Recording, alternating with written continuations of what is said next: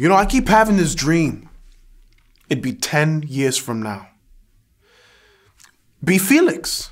He's all right, and we're still tight. He got himself a job, a good one too. He's like a captain at one of those fancy restaurants up in Manhattan with tablecloths and ambience and shit. Fancy motherfuckers be all up in there in pinstrip suits. Anywho, I'd be out from another bullshit bit upstate, Rikers or whatever. But make no never mind, cause Felix be going out on a limb. He be pulling some strings for his old friend Spec, getting me a gig waiting on tables. And shit be working out too. But hold up, you wanna know where you come in? You wanna know what type of motherfucker you is in 10 years? You're the type to be coming in every so often. You're an every so often type of motherfucker, Charlie. You don't wanna come in to bring some business to the joint your cousin work at, make you feel like Santa Claus and shit. You don't say hi to nobody.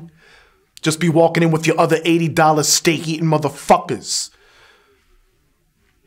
Anywho, at the end, when you're walking out with your friends who talk up their chin, you be coming in and slipping me a Franklin. But in your mind, you be saying, here be some monies. So now I don't got to deal with your ass anymore until I be needing another steak. That's you in my dream. If I had to pick a different uh, occupation instead of acting, I think I'd pick something. I think I'd be an astronaut or a submarine person going in, going into the deep waters, um, traveling and finding the unknown. Um, yeah, I think there's something very powerful about the unknown. Like we don't know anything about the space yet or the water, and I guess that's what I'm doing with acting too is exploring the unknown.